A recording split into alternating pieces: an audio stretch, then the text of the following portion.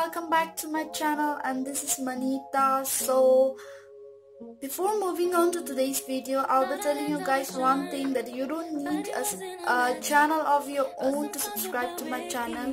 Just hit the subscribe button and then boom subscribe.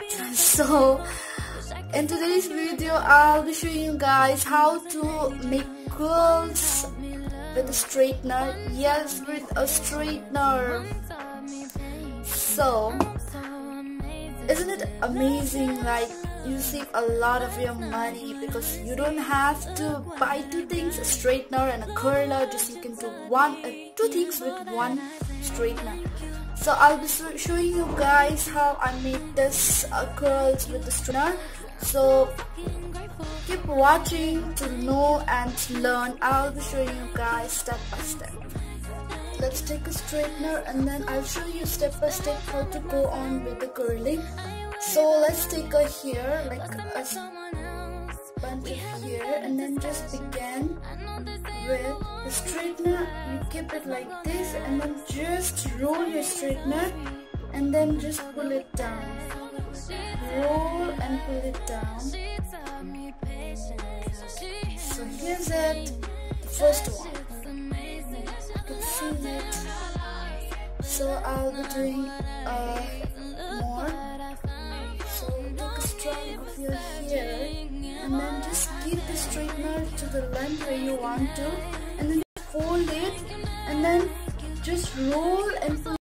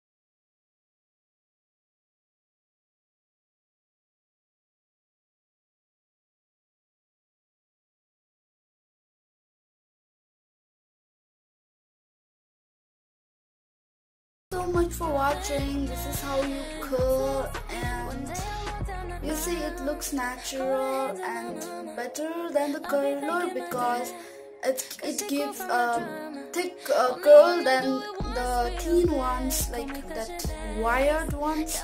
So I hope you guys liked it. Thank you so much